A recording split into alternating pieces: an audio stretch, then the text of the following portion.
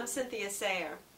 I just played something that I didn't intend to play, but I hope you didn't even notice. I didn't give it away. In fact, that's what I want to speak to you about. Just staying as you are, no matter what you play.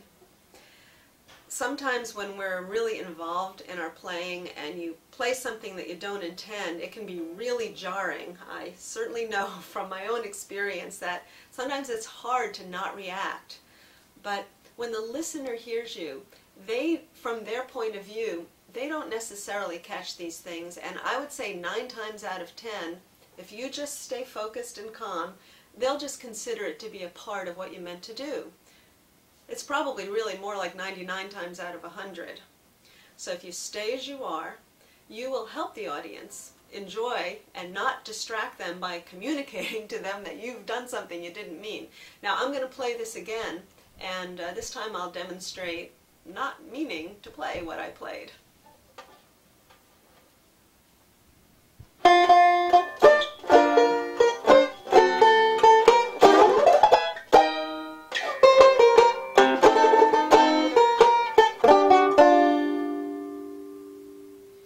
Probably better the first way, right?